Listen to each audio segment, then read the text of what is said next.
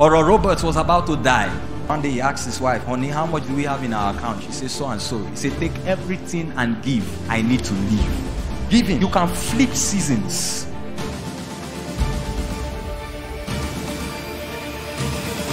He said, A corn of wheat fall to the ground and die. It abides alone.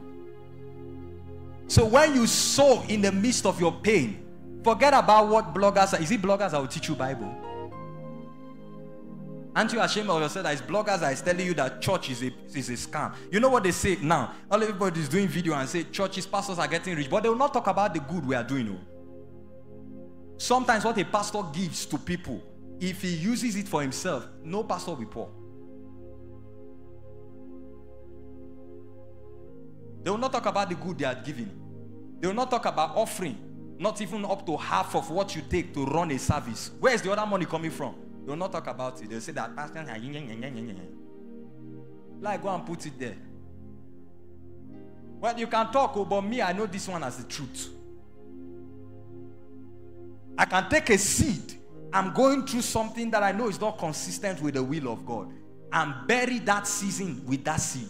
Because when a seed falls to the ground, it dies. So that season of suffering and pain dies with it. Those who sow in tears shall reap in straight up. Giving, you can change, you can flip seasons. Oral Roberts was about to die. Uh, of course, as a great man of God, many of his friends who were great healing evangelists had come and prayed for him. They'd done everything, nothing was happening, he was still dying. One day he asked his wife, Honey, how much do we have in our account? She said, So and so. He said, Take everything and give. I need to leave. And as soon as she dropped that seed, the sickness left.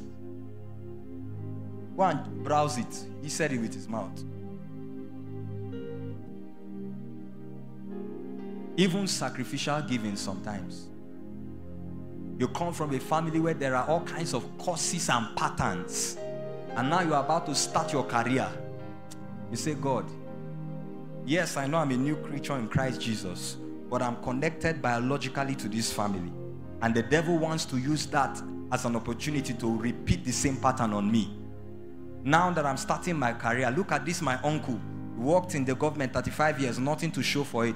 Look at this one, I work in NNPC 25 years, nothing to show for it. So that the same cost doesn't rest on me, regardless of the fact that I'm now a new creature in Christ Jesus. Then that man goes and lays a sacrifice with it before God. Maybe he takes his first salary and puts it before God.